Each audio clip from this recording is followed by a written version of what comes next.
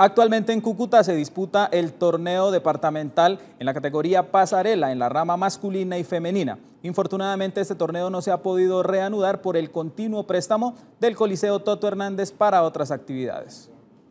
El torneo departamental de baloncesto categoría pasarela no ha tenido continuidad en Cúcuta debido al préstamo del Coliseo Toto Hernández hace varios fines de semana. Las fechas continúan suspendidas y la preocupación radica en el ritmo de competencia que van perdiendo los deportistas.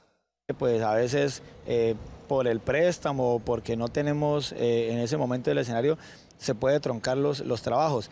Pero creo que todo es de, hablar, todo es de de un cordial trabajo. Ese es el problema. Eh, si paramos un fin de semana no nos perjudica sino a todos en el baloncesto. Entonces, eh, como lo digo, es coordinar. Eso es todo.